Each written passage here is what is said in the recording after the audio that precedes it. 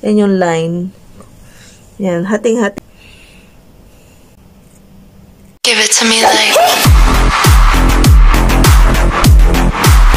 Hi everyone! Welcome to my channel! I am Adele at kung hindi ka po nakakapag-subscribe sa channel ko, please subscribe my channel at i-click mo na rin ang notification bell para po updated ka sa aking mga videos.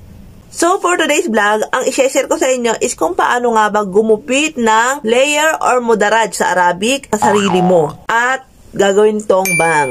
So, ang gusto kong bangs is hindi siya straight, hindi siya sida. Ang gusto ko is layer. Layer or mudaraj.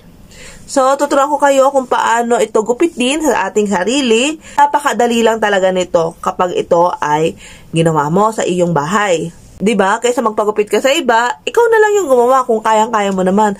Kaya, tara! Ito yung lagayan ko ng aking panggupit. So, inipitan ko na rin to para hindi sagabal sa paggupit ko. And then, ayan, hinati ko na din. Hinati ko na din to. Ayan, kita nyo po. Yan yung line. Yan, hating-hati siya. Then, kapantay naman nito. Ayan.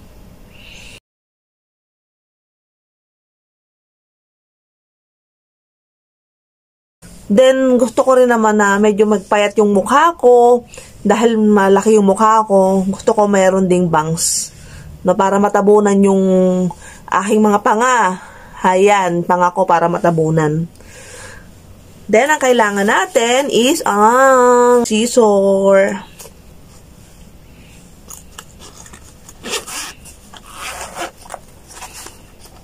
Okay, nandito yung mga accessories ko.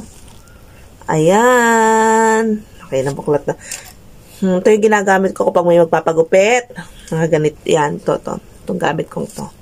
Ito lang kailangan ko. Suklay at gunting. Ayan lang. Ang paggamit ko ng gunting, ang pagpapasukan lang ng gunting is itong daliring ito, saka ito. Okay, pasok natin. Okay, yan. Okay na.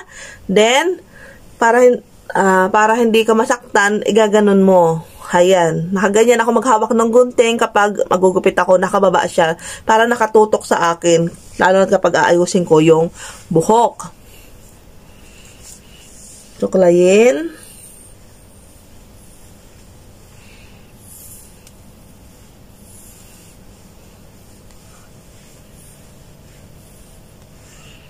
Yan. Iba yung technique ko. May iba't iba kasing technique ng mudaraj. Yung iba, ang technique is ganito. Ayan, ganyan. Technique ng iba, pakita ko sa inyo. Tapos pipilipitin lang. Ayan. Tapos, saka gugupitin. Saka gugupitin, oh. Saka gugupitin ng ganito. Ayan. Pero, iba yung ituturo kong technique kung paano gumupit ng mudaraj para makita mo talagang ganon. Ganon-ganon siya. Kasi yung gusto kong mudaraj, yung layer, is yung pantay na ganon. Yung kasing technique na yung pinipilipit, hindi yung talaga asin pantay. Parang ginupit mo, parang ginupit mo ganon. Yan, ganyan yon. Tapos, mga mga bata dito sa Dubai, pantay. Yan, di hanggang dito. Minsan hanggang dito, pag madaling humaba, ayan, ganito. Pero kapag mga may edad na, uh, kalimitan talaga is layer. So, start natin.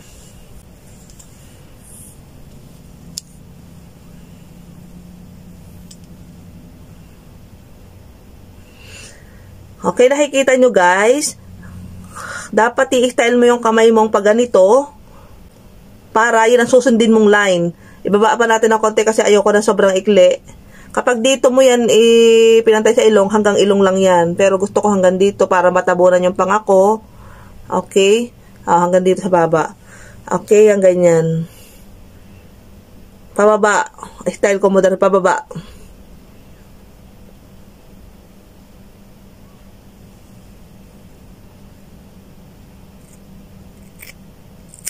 Okay, yan na. Kita nyo na? Okay, nakita nyo? Style. Pero, pero ma parang mahaba pa din. Pero okay na siya. Okay. Yan, ganyan, di ba? Layer siya here. Kapatay natin suklayan, ganyan. Ganito, it's like a layer here. Ganyan lang. Okay, let's go to another side. Ganito din yung step na gagawin ko. Same, uh, same before. Same sa una ng ginawa ko.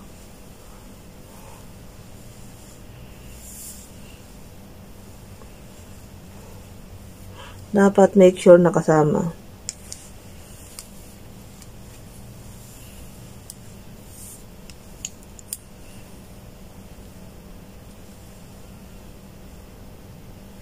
Ayan, hanggang baba, okay? Hmm.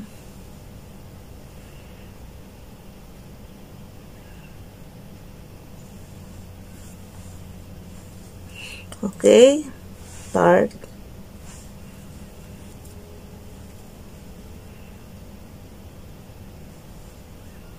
Pataas, okay?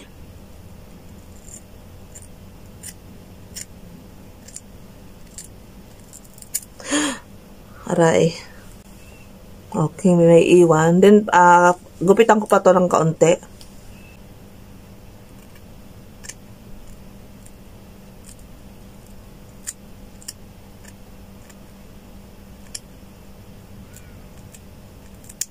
Okay. Okay guys, that's it. That's my mudaraj na ginupit ko at home. Napakadali lang, no?